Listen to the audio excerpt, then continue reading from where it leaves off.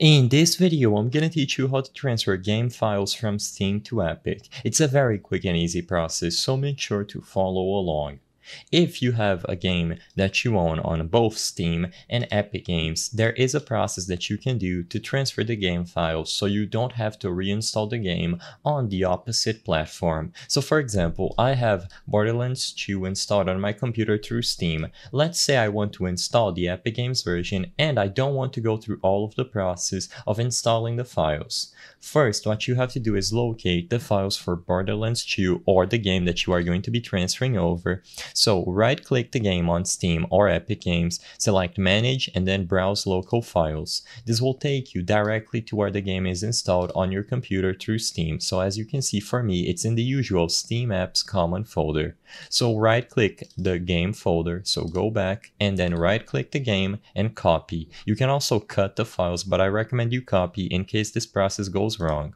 With all the files copied, what you have to do is run the installer on Epic Games. You don't have to install the game completely, just run it at least once. As you can see, you need to note down where you are going to be installing the game. So for me, it's going to be on the C drive, games, and then the Epic folder. So start installing the game and you can go ahead and cancel the install.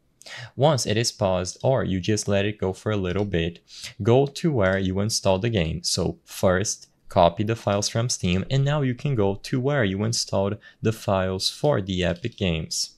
As you can see here it is. Now to transfer the game files from Steam to Epic, all that you have to do is paste them over here.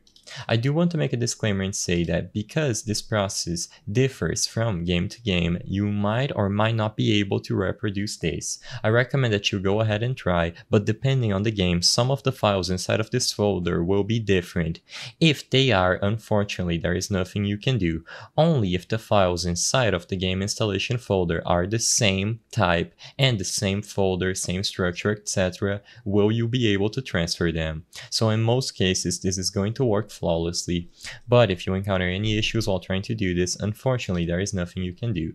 I recommend that you close down the Epic Games Launcher just for a second, and if necessary, alter the name.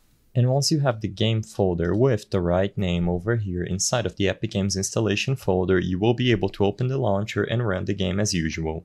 I hope I was able to help you on how to transfer game files from Steam to Epic. If this video helped you, please be sure to leave a like and subscribe for more quick and easy tips. Thank you for watching.